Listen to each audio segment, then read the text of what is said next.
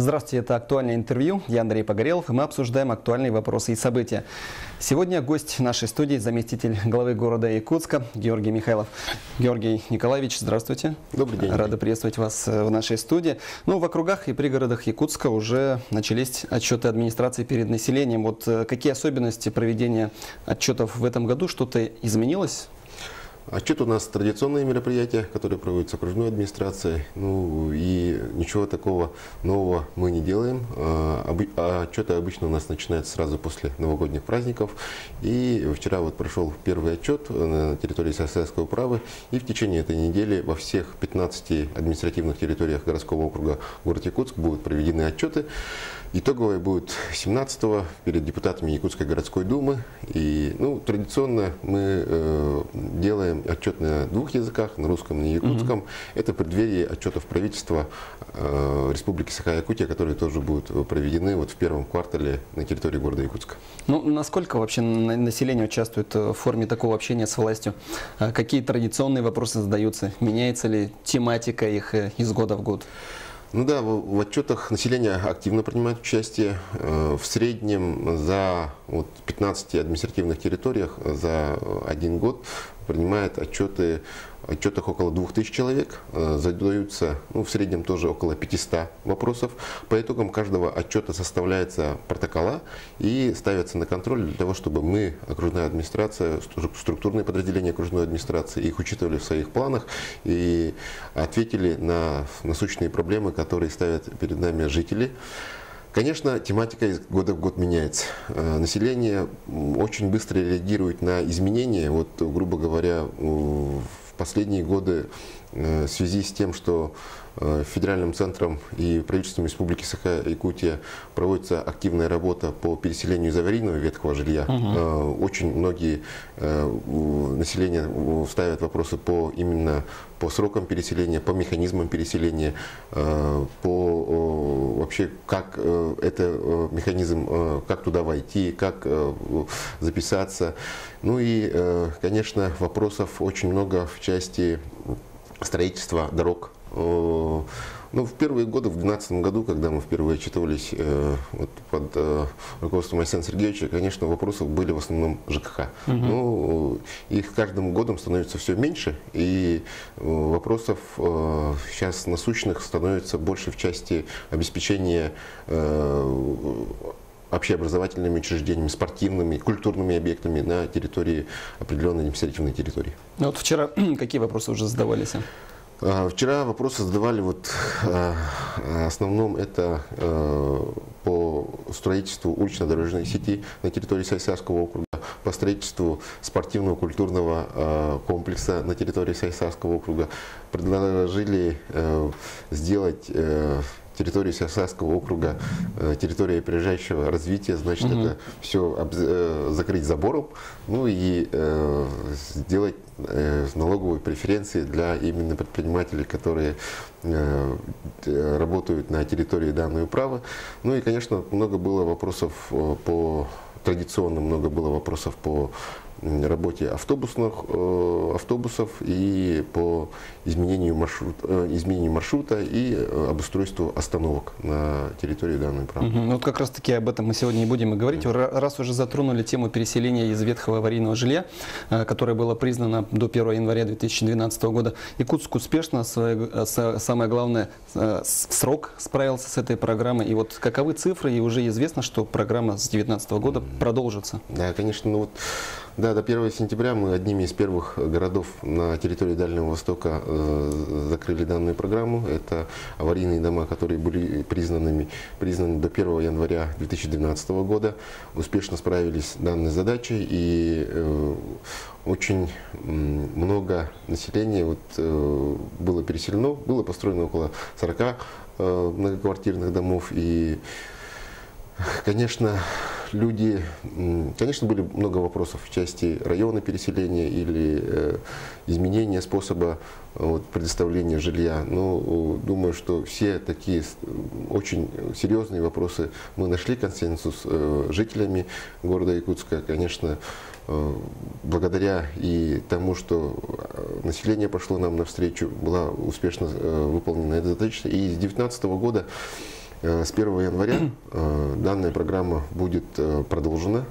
Сейчас разрабатывается механизм в федеральном центре. И, конечно, вот Егор Афанасьевич Борисов, наш президент республики, он Э, сказал, что именно 2018 год мы попытаемся, исходя из своих возможностей, тоже на региональном субъектовом уровне эту работу продолжить. И, конечно, э, муниципалитет будет принимать активное участие именно в проведении данной работы.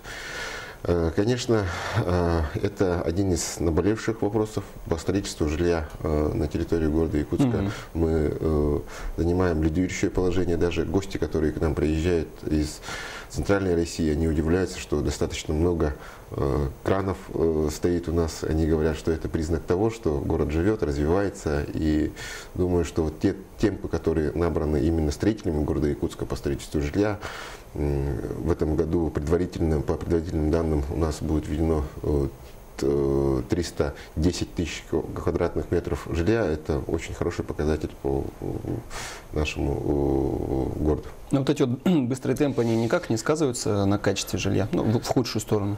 Нет, ну, используются современные технологии, которые соответствуют всем э, требованиям, ГОСТам, Санпину, и думаю, что при надлежащей эксплуатации именно вот этого дома, угу. в которых именно применяются новые современные технологии, э, эксплуатация должна проходить очень э, хорошо и долгое время. Георгий Николаевич, ну, сложно не согласиться с тем, что рождаемость в нашей столице, она продолжает расти, об этом свидетельствуют цифры статистики. Вот в декабре, в середине декабря родился шеститысячный Э, ребенок. И вот как решаются вопросы как раз-таки вот с обеспечением детскими садами, школами?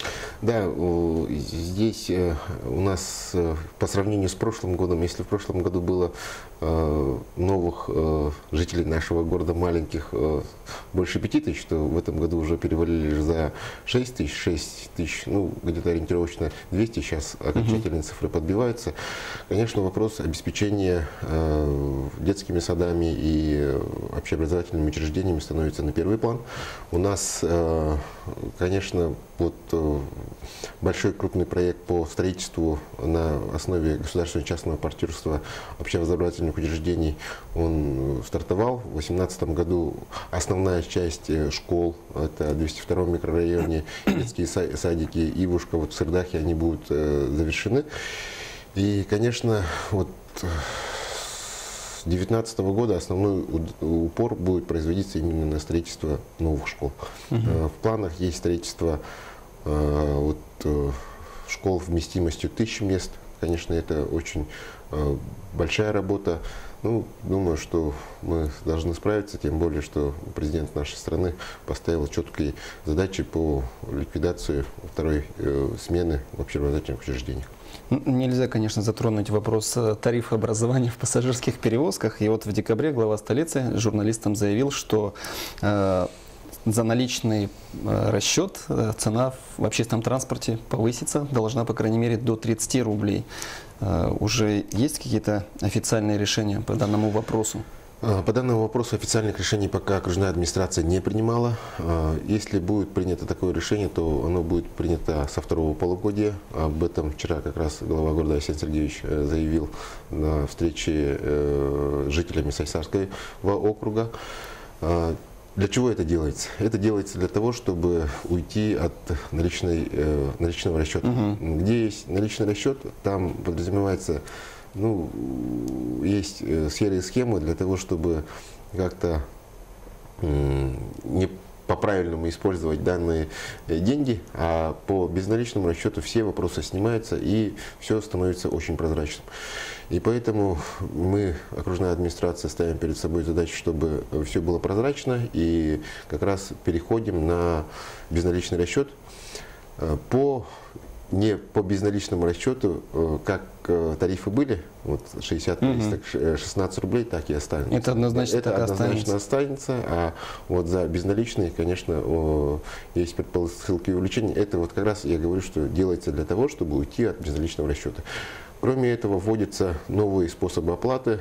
Если сейчас только можно оплачивать транспортной картой, угу. то в последующем можно будет э, оплачивать э, с помощью любой банковской карты, которая находится у жителя города Якутска.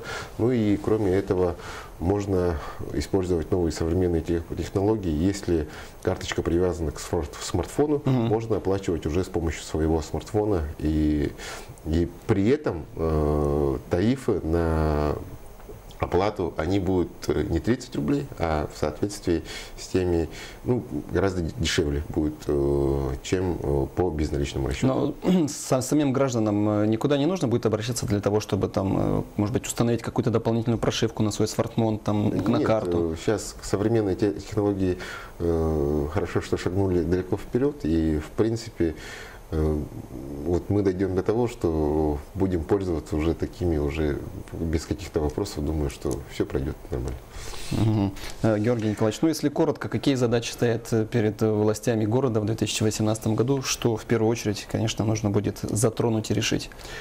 Ну, в 2018 году, конечно, основная задача – это э, работа над народной программой э, главы города Арсения Сергеевича Николаева, э, народная программа главы города, которая разделена на пять направлений. Это агропоезд города Якутска, это новые школы столицы, город без пыли, волокиты нет, и вопросы по всем этим направлениям будут создаваться рабочие группы, проектные группы, и мы будем работать э, для того, чтобы решить э, ну, такие достаточно серьезные вопросы, которые стоят э, перед окружной администрацией. И Основной приоритет, конечно, будет направлен для того, чтобы решить вопрос по строительству новых школ. Эта задача очень сложная и глобальная. Ну и, конечно, со счетов мы не снимаем вопросы по строительству улично-дорожной сети и по строительству нового жилья для переселения из э,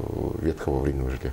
Mm Ну, то есть, как ни крути, все равно мы вокруг вот этих основных вопросов, да. которые мы с вами озвучили, они все равно, тем не менее, входят в эту же программу. Да. Это да. и дети, это и да. переселение, получается, таковы основные вопросы, и которые необходимо будет решить. Да, конечно, да, потому что и вот отчеты как раз и показывают, что они наиболее насущные для э, жизни нашего города.